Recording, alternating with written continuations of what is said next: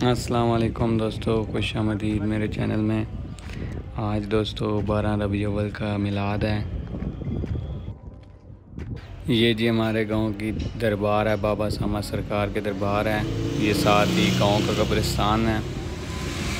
ये भी नीचे भी कब्रिस्तान है, इधर ही मेरे वाल साहब की कब्र है। तो आज मिलाद है, अभी इधर जा रहे हैं। बाबा सामा दरबार भी आपको दिखाते हैं।